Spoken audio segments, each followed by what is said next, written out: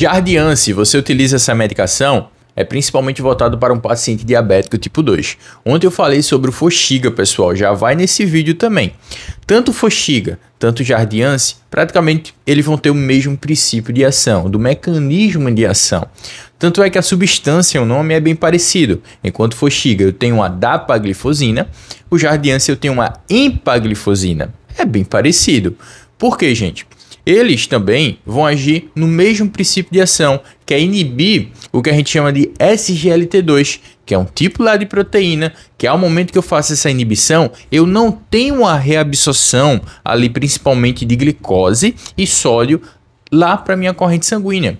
Quando eu tenho essa enzima, essa proteína que não é, galera, ali inibida, não é ali interrompida, a gente vai absorver, reabsorver uma quantidade também ali grande de glicose de volta para a corrente sanguínea, que é isso que o rins faz. O rins é um órgão de metabolização. Enquanto eu estou tomando né, o Foxiga ou o Jardiance, ele faz essa inibição. Então, quando eu tenho essa inibição do SGLT2, eu vou, no caso, ter uma reabsorção praticamente ali nula de volta para a corrente sanguínea ali de glicose. E isso vai expulsar mais na minha urina.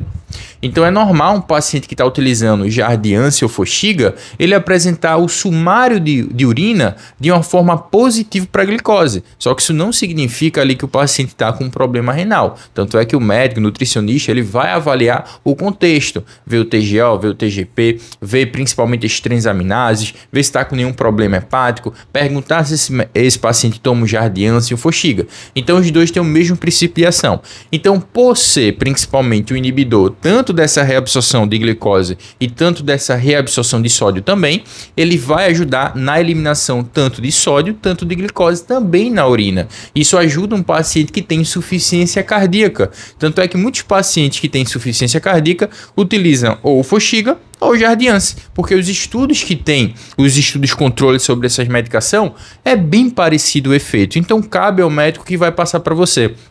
Geralmente o custo-benefício sai um pouco melhor do que o Foxiga, depende de farmácia para farmácia.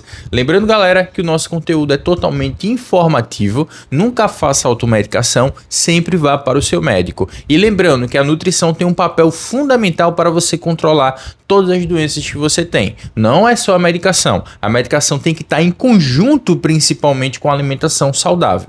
E se você quer uma alimentação saudável, me chama por mensagem privada que a gente vai fazer uma boa consulta com vocês. Um bom acompanhamento. Tá bom, galera?